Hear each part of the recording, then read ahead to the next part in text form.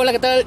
Yo soy Miguel para Miguel Scars. Siempre continuando con este ciclo y proceso de ventas. ¿Por qué tienes que apuntar a ser el número uno?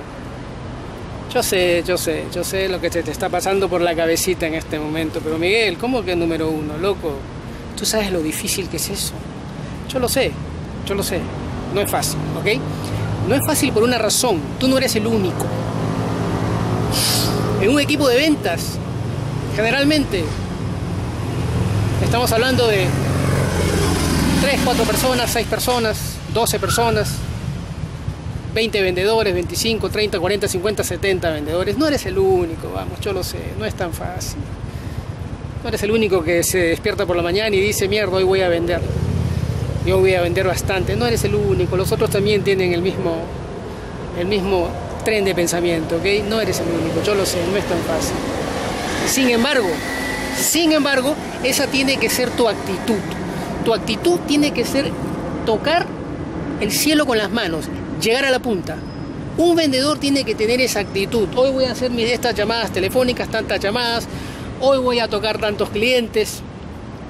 Hoy voy a buscar tantos referidos, tantas recomendaciones. Hoy voy a tratar de cerrar tantas tantas ventas de tantos contactos, cosas por el estilo. Siempre tienes que apuntar a ser el número uno. ¿Ok? Ahora bien, claro que sí, yo sé, yo lo sé, yo lo sé, tú trabajas en, una compañía comercial, ¿ok? Vendiendo tal producto o tal servicio y me estás diciendo, Miguel, pero siempre hay favoritos. Yo lo sé, yo lo sé, loco, no me lo tienes que decir.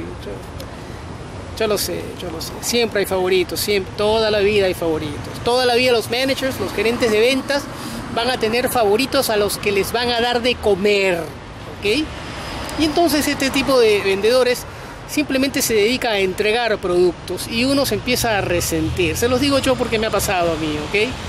Me ha pasado de ser realmente el número uno o el número dos y ver cómo a, dos o tres vendedores la compañía le regala las ventas. Es jodido, es duro, es duro, yo lo sé, yo lo sé. Pero ellos también lo saben, ¿ok? Y te tienen miedo.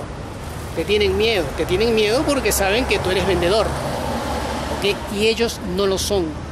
Saben que en realidad la compañía les está regalando las ventas. Claro que cuando ven su cheque a, fin de mes, cada 15 días, cada semana, dicen, mierda, soy un gran vendedor. Pero en realidad no son idiotas, saben perfectamente que alguien les está dando de comer. ¿Ok? Tu actitud en ventas siempre tiene que ser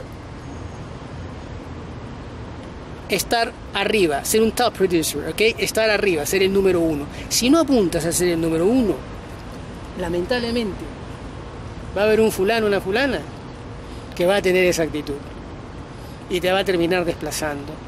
Porque así son las ventas. Las ventas son jodidas, no te las regala nadie. Yo soy Miguel, para Miguel's Cars, siempre continuando con este ciclo en proceso de ventas. Ya regreso desde South Beach, Florida. Adiós, muchísimas gracias por acompañarme. Chao, chao.